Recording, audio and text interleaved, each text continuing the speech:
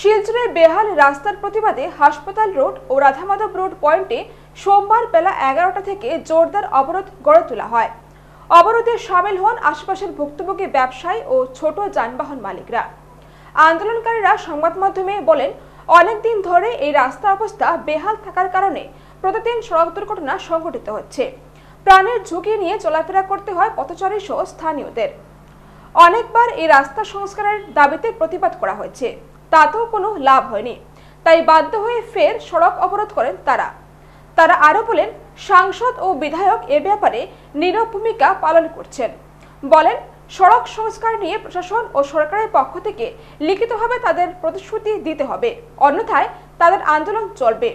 পরে দুপুর সাড়ে বারোটায় অবরোধস্থলে উপস্থিত হন এনএইচআইডিসিএল এর জুনিয়র ইঞ্জিনিয়ার সাক্ষ্য সেন দেবনাথ।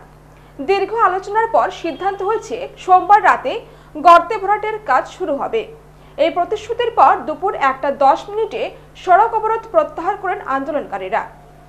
আজকে এই এরিয়াটা ইমার্জেন্সি রোড আজকে আমরা ব্লক করেছি। তার একমাত্র কারণ আমাদের ডিসি স্যার যদি আশ্বাস না দেন লিখিত, আমরা আজকে রোড ছাড়বো না ছাড়বো না। আমরা ডিসি স্যার যদি আজকে না আসে, আমাদেরকে লিখিত না দেন, আমরা এই রোড ছাড়বো না। যদি আজকের ভিতরে আজকে আমাদের কাজ শুরু না হয়, আমরা বৃহত্তর আন্দোলনে যাব আজকে, আজকের থেকে। কালকে আমরা আরও আন্দোলনকে আরও বড় চালিয়ে যাব। প্রতিশ্রুতির পর প্রতিশ্রুতি দিচ্ছে। বলছে, পূজার আগে কাজ হবে। পূজার আগে যদি প্রাণ চলে যায়, তাহলে এটার দায়িত্ব কে নেবে? প্রশাসন নেবে? এটার দায়িত্ব? ওরা তো আশ্বাস দিচ্ছে, প্রশাসন আশ্বাস দিচ্ছে। যে কাজ হবে পুজোর আগে। পুজোর আগে। যদি কোনো প্রাণ চলে যায় প্রশাসন লিখিত দিতে পারবে যে এই প্রাণের দায়িত্ব এই এই ফ্যামিলির দায়িত্ব প্রশাসন নেবে। আর এমএলএ এমপিটা কি করছে? জনপ্রতিনিধিরা তো নীরব ভূমিকা পালন করছেন।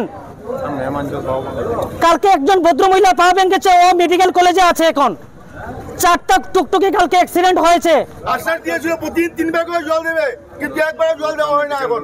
আর গর্তটা বন্ধ করা হবে কিন্তু গর্তটা বন্ধ করা হয় নাই। আজকে এই রাস্তা অবরোধ করা হয়েছে। আপনারা সবার জানা আছে, কিছুদিন আগে হসপিটাল রোডে রাস্তা অবরোধ করা হয়েছিল।